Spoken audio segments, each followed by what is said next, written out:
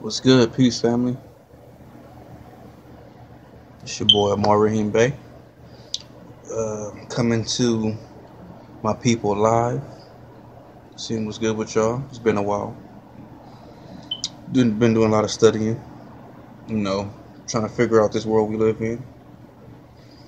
But I mean, once you get past the spirituality, once you get past the Bible, once you get past religion, you're gonna ask yourself, what's next? What do we do?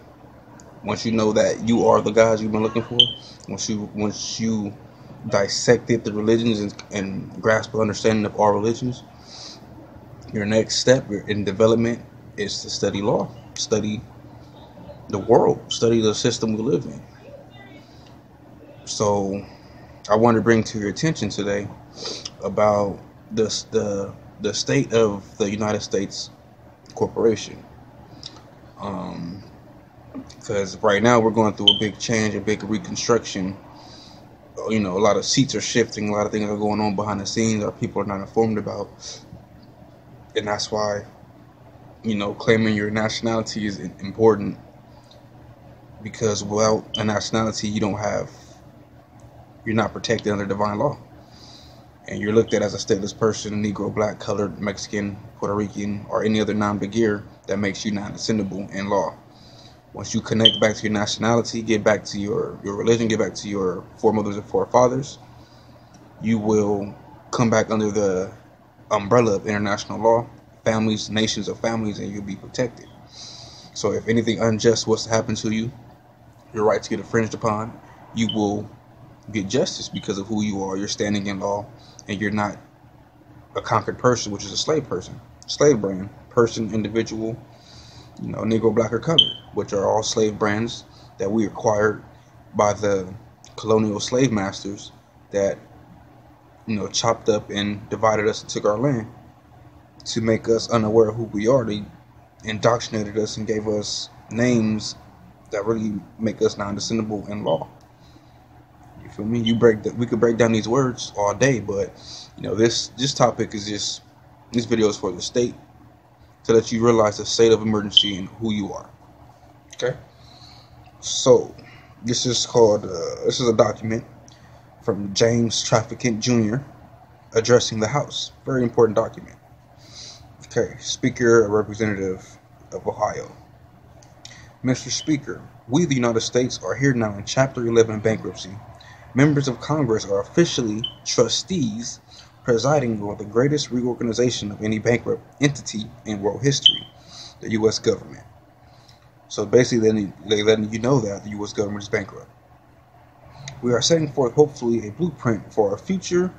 There are some who say it's a coroner's report that will lead to our demise. So, this document is revealing the truth of the matter, what's really going on, what it really is. Sip, coffee.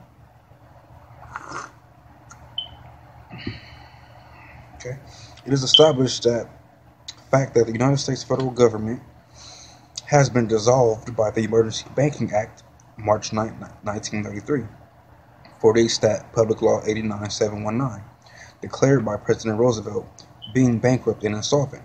House Joint Resolution 192, 73rd Congress, June 5, 1933, uh, a joint resolution to suspend the gold standard and abrogate the gold clause. Dissolved the sovereign authority of the United States and the official capacities of all United States government offices. So basically, in 1933, June 5th, that's when the corporate entity known as United States went bankrupt for like a third or fourth time. And they wanted to suspend the gold that we, because America always dealt in gold. Article, the article, Article One of the Constitution lets you know that the only way to pay a debt is with gold we don't have gold, so we can't pay debt. We only can discharge it. And when we discharge debt, that's all you're doing with Federal Reserve notes, quote unquote money, paper. Um, that's what you're doing when you use those notes to, to quote unquote pay for something. You're in reality, in law, you're discharging it. You're not paying for nothing. You're discharging it. So House Joint Resolution basically let them let everybody know it's a public act, letting everybody know, look, we're bankrupt, we're taking your gold, we're gonna prepay for everything, yada yada. Um, if you want more on that, go look up House of Resolution 192, 73rd Congress, and dig into that and uh, study that. Okay. So basically, United States is bankrupt. They're you know. The receivers of the United States bankruptcy are the international bankers via United Nations, the World Bank, and the International Monetary Fund. All United States offices and officials and departments are now operating within a de facto status and name only under emergency war powers. So I suggest you look up what de facto means and look up emergency war powers. With the constitutional republican form of government now dissolved, the receivers of the bankruptcy have adopted a new form of government for the United States. This new form of government is known as democracy. Demons. Democracy is de facto, people. Remember that. Being an established socialist communist order under a new governor of America. This act was instituted and established by transferring and or placing the office of the Secretary of State to the governor of the International Monetary Fund. Public Law 94564, page 8, section HR 13955 reads in part The U.S. Secretary of Treasury receives no compensation for representing the United States. Okay. Gold and silver were such a powerful money during the founding of the United States of America, the Republic, that the founding fathers declared the only gold or silver coins can be money in America. Since gold and silver coins were heavy and inconvenient for a lot of transactions, they were stored in banks and claim checks and claim checks was issued as money substitute.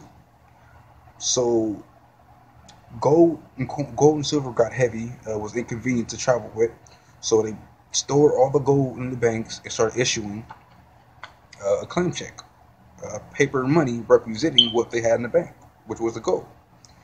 So people trade their coupons, deposit certificates as money or currency. Currency is not money, but a money substitute. Redeemable currency must promise to pay a dollar equivalent in gold or silver money. Federal Reserve notes makes no such promises and are not money. I repeat, the Congress knows this. It's law. Federal Reserve notes make no such promise and are not money. A Federal Reserve note is a debt obligation of the federal United States corporate government, not money. The federal United States corporate government and the U.S. Congress were not and have never been authorized by the Constitution for the United States of America, Republic, to issue currency of any kind, but only lawful money, gold and silver coin. So they're operating in fraud. They're printing up these fake banknotes and saying it's money. But I mean, it's fiat. Uh, let it be done. So they call it money, which is not. But later down the line, they know that people will catch on and start calling it money. Fiat. Federal Reserve notes. It's not money, people. Call it what it is. If you call it what it ain't, you give it power. It is essential that we comprehend the distinction between real money and paper money. One cannot get rich by accumulating money substitutes.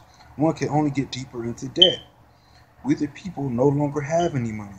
Most of Americans have not been paid any money for a very long time, perhaps not their entire life. Now do you comprehend why you feel broke? Now do you understand why you are bankrupt along with the rest of the country? Federal Reserve notes, FRNs, are unsigned checks written on closed accounts. Federal Reserve notes are an inflatable paper system designed to create debt through inflation, devaluation of currency. Whenever there is an increase of a supply of money substitute in the economy without a corresponding increase in the gold and silver backing, inflation, devaluation of the currency loss of purchasing power occurs. Inflation is an invisible form of taxation that irresponsible governments inflict on their citizens. The Federal Reserve Bank, who controls the supply and movement of FRNs, have already, um, excuse me, have everybody fooled. They have access to an unlimited supply of FRNs, paying only for the printed cost of what they need.